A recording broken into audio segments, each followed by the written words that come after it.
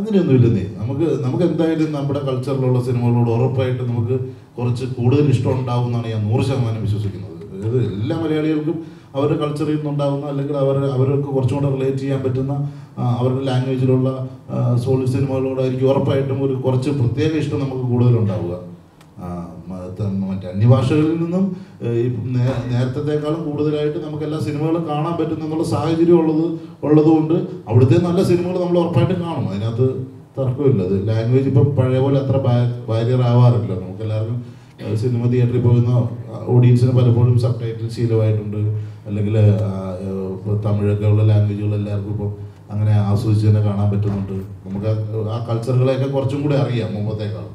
അതിപ്പം ആ, തെലുങ്ക് സിനിമകളോടായാലും ഹിന്ദി ആയാലും നമുക്ക് അല്ലെങ്കിൽ പുറത്തുള്ള കൾച്ചറുകളൊക്കെ കുറച്ചും കൂടെ ഇപ്പം നമുക്ക് ബാക്കി സോഷ്യൽ മീഡിയ ഒക്കെ ഉള്ളതുകൊണ്ട് കുറച്ചുകൂടെ പരിചയം ഉള്ളതുകൊണ്ട് ഉറപ്പായിട്ട് അത്ര സിനിമകൾ ആളുകൾ കാണും. അതിനകത്ത് അത്ഭുതപ്പെടാനൊന്നുമില്ല. അത് ആൾ ആളുകൾക്ക് അത്ര സിനിമകളോട് പ്രത്യേക അഭിനിവേശം ഉണ്ടായിട്ടൊന്നും തോന്നുന്നില്ല. നല്ല സിനിമകളായതുകൊണ്ട് ആൾക്കാർ വരും കാണും. കഴിഞ്ഞ വർഷമായാലും ഈ വർഷമായാലും മലയാളത്തിൽ ഒരു ആഴ്ചകളിൽ ഇറങ്ങുന്ന സിനിമകൾ ഒരു പത്ത് സിനിമകളായോളം ഇറങ്ങുന്നുണ്ട്. അത്ര എല്ലാ സിനിമകളും തന്നെ പരാജയപ്പെട്ടു പോകുന്നൊരു പ്രവണത കണ്ടിരുന്നുണ്ട്. എന്തുകൊണ്ടായിരിക്കും മലയാളത്തിൽ ഇത്ര സിനിമകൾ വന്നിട്ട് ആളുകൾ തിയേറ്ററിൽ വരുന്നില്ല? അല്ല നീ എണ്ണത്തിന്റെ ഒരു കാര്യമില്ലല്ലോ. ആയിരം സിനിമ വന്നെന്ന് പറഞ്ഞിട്ട് ഒരു ഇൻഡസ്ട്രി വലുതാവില്ലല്ലോ. എത്ര മികച്ച സിനിമകൾ വന്നു എന്നുള്ളതിൽ മാത്രമേ ഒരു ഇൻഡസ്ട്രിക്ക് അത് ഗുണം ചെയ്യുകയോ അല്ലെങ്കിൽ എല്ലാവരും മികച്ച സിനിമകൾക്ക് വേണ്ടിയിട്ട് തന്നെയായിരിക്കും ശ്രമിക്കുന്നത്. പക്ഷേ എങ്കിലും അതാണ്. ഇപ്പം ഒരാഴ്ച പത്ത് മോശം പടം വന്നാൽ തിയേറ്ററിൽ ചിലപ്പോൾ ആരും വരില്ല.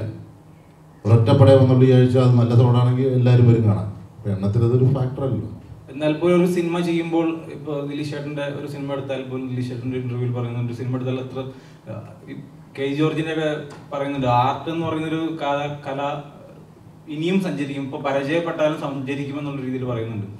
അപ്പോൾ സിനിമ അത്തരം ആളുകളിലേക്ക് എത്തിക്കേണ്ട ഒരു ഇത് വ്യവസായ ഇതല്ലേ അതെ.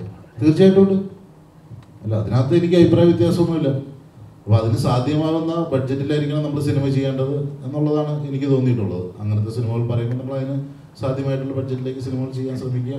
നമുക്കിപ്പോൾ ഇനി ഇപ്പം ഞാനീ പറയുന്നത് കൊമേഴ്ഷ്യലായിട്ടുള്ള വിജയത്തെക്കുറിച്ച് മാത്രമാണ്. ഇപ്പം നമുക്ക് എന്റർടൈൻമെന്റ് വാല്യൂ ഉള്ള ഒരു സിനിമയിലൂടെ നമുക്ക് നല്ല ആശയം പറഞ്ഞുകൂടെ? അതിന് കുഴപ്പമുണ്ട്. എന്റർടൈൻമെന്റ് ഉണ്ട് എന്ന് കരുതി ഒരു നല്ല കണ്ടന്റ് ഇല്ലാണ്ടാവുന്നില്ലല്ലോ. നമുക്ക് അതാണ് അതിനകത്തെ കാര്യം. എന്നാ തോന്നുന്നത് ഓക്കെ താങ്ക് യു